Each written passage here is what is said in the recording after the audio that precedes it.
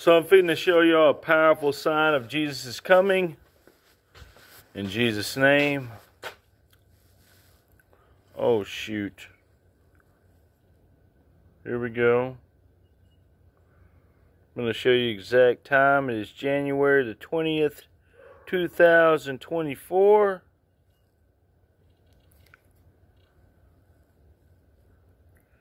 I'm fixing to show you when the... Alright, it just changed. January the 20th, 2024. And here we go. In the name of Jesus. And the whole sun changed. Just now. Alright, so it just changed.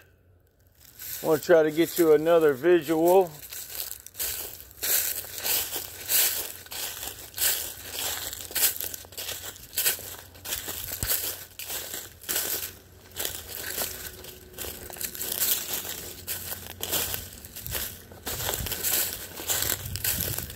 Here we go. In the name of Jesus. And he's doing it. He just did it again. In the name of Jesus. And one more time. In Jesus' name. And he just did it again, distinctively. He just did it again.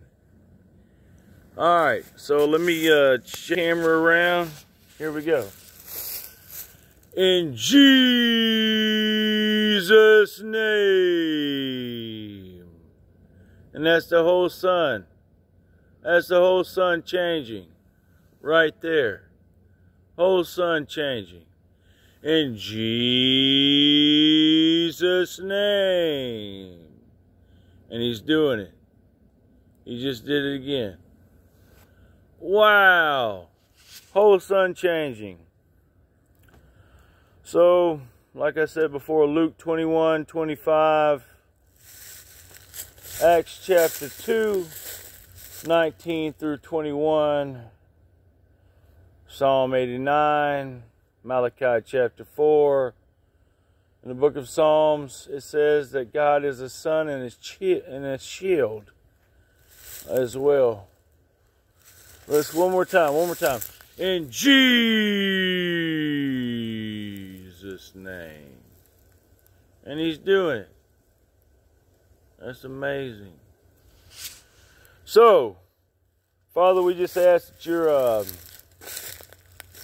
that your signs of your coming be shown to all nations, and also that you continue to help us understand the signs of your coming with um, with discernment.